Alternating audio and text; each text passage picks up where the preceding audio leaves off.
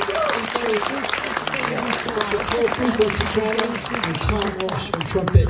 And we're going to take a short break now, and we'll be back in about 20 minutes.